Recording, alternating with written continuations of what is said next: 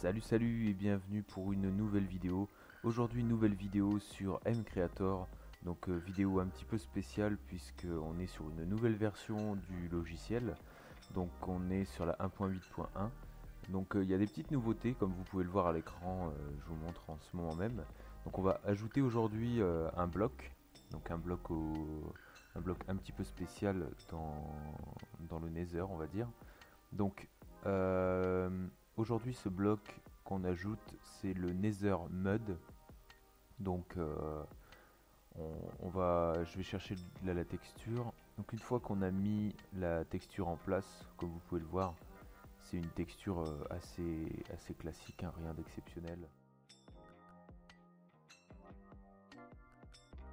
Ici, dans le nom, on tape Nether Mud, donc qui veut dire de la boue en fait. Hein. Mud en anglais, c'est de la boue donc la boue du Nether. Je trouve que ça correspond plutôt bien au style Nether, le fait qu'il y ait de la boue, etc. C'est un bloc sombre. Vous allez voir qu'il y a une petite, euh, petite subtilité à ce bloc. on baisse la résistance. Ensuite, euh, le reste, voilà, on va laisser. Le reste, on va laisser comme ça. Donc on va choisir que ça se casse avec une pelle, bien sûr. Euh, affecté par Stick Touch, on va laisser. Au niveau du son, on va mettre euh, le son de la clay. Ensuite, au niveau du son sur lequel, euh, quand on marche, on va mettre le son du, de, la, de la dirt, de la grasse. Là, on laisse le niveau à 1 puisque il n'y a pas besoin de, de, le casser autrement qu'avec la main. Ensuite, alors ici on touche à rien, on touche à rien. Ici on va ajouter un événement, une procédure. Donc ça, si vous n'avez pas l'habitude, euh, en fait, maintenant, on peut ajouter directement une procédure depuis le menu, en réalité. Donc euh, avant, il fallait passer par créer une procédure, etc. Maintenant, on peut la créer depuis ce menu même. Vous voyez que j'avais déjà mes autres procédures euh, auparavant. Donc là, je vais créer la procédure. Alors, je vais vous afficher juste l'écran. Voilà, donc on se retrouve sur l'écran procédure. Comme vous pouvez le voir, il y a des, nouvelles choses, dont des templates, par exemple. Donc ces templates-là, on va pas y toucher. Hein. Pour l'instant, on va pas les, tester ou quoi que ce soit. Nous, ce qui nous intéresse, c'est de faire un bloc qui va nous ralentir et qui va nous donner blindness de manière temporaire. Et euh, les damage, non, je ne pense pas que ce soit nécessaire. Voilà, donc pour ralentir, on va faire add potion with level 1, duration 60. On va sélectionner le blindness. Et ensuite, on va dupliquer ce, cette partie-là du, puzzle, on peut dire de la procédure. Et on va rajouter du coup euh, slowness. Donc pour l'instant, je laisse level 1, duration 60, sachant que 60 en fait, euh, c'est des demi-secondes. Donc en fait, c'est... Euh, enfin, même pas. Je crois que ça ne dure que 3 secondes en réalité quand on met 60. Donc je sais pas trop comment c'est réglé, mais bon, de toute façon, il faudra faire des tests pour voir par la suite comment ça se passe. Donc du coup, ça donne blindness, slowness et nausée. Donc voilà, c'est un, bloc qui peut être assez intéressant à faire. Donc ici on va taper mode, euh, mode collision hein, tout simplement. Voilà, donc ensuite on fait suivant. On va mettre que ça se génère dans le nether, donc on coche euh, générer dans le nether. La fréquence des chunks on va mettre 10-10 même si euh, pas sûr que ce soit suffisant. au niveau de la hauteur on va laisser 128 à peu près.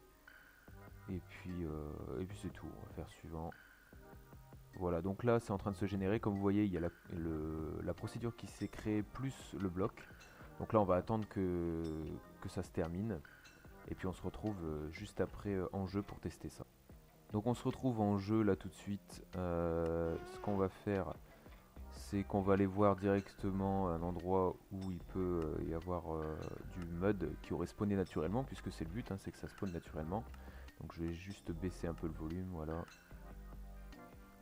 Alors, euh, donc euh, vous pouvez voir aussi que j'ai mis les, textures. Euh, certaines textures sont update dans les dernières versions de Japa, mais bon, pas toutes. Donc la Netherrack c'est le cas. Vous voyez qu'ici on en a, qui a spawné naturellement. On va essayer de voir si on a des, autres endroits où, on en trouverait. Alors je pense que le spawn rate, clairement, il est trop faible. Hein. vous voyez, c'est des petits batchs, donc je pense que j'augmenterai ça par la suite. Et ça devrait, euh, ça devrait être pas trop mal. Donc on va tester ça, on va se mettre dans un coin, on va se mettre ici. On va tester ça euh, au niveau du, du bloc, voir si la, procédure fonctionne. Donc pour cela, on va se mettre en, en pas en créatif, en survie, pardon. Donc on est en survie. Alors on va essayer donc déjà de marcher sur le bloc. Ça ne fonctionne pas. Vous voyez que là, il se passe absolument rien. Donc je pense qu'il faut que je rende le bloc euh, transparent d'après moi. Enfin, il faut que je fasse en sorte qu'on puisse passer au travers du bloc. Donc euh, c'est ce que je vais modifier tout de suite. Donc on est de retour euh, sur mCreator directement.